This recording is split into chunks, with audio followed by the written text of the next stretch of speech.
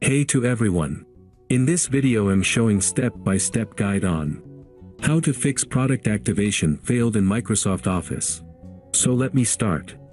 At first click on Start. Search and open Microsoft Word.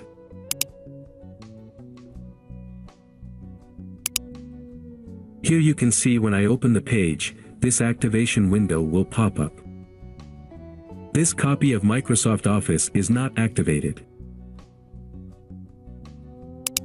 Here you can see product activation failed. Now in this video let me show to you how you can do it. Let me close this software first. Now, move down and then open Windows Explorer. Click to open local disk C.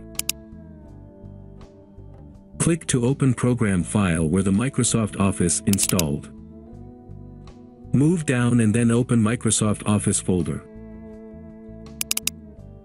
Open this folder, Office 16.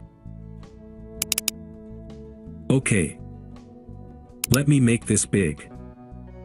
Move down and then find this application. Here it is.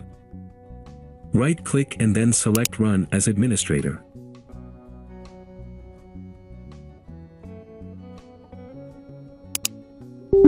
Click on Yes to accept. Done. Now let me show to you that we have successfully fixed this issue.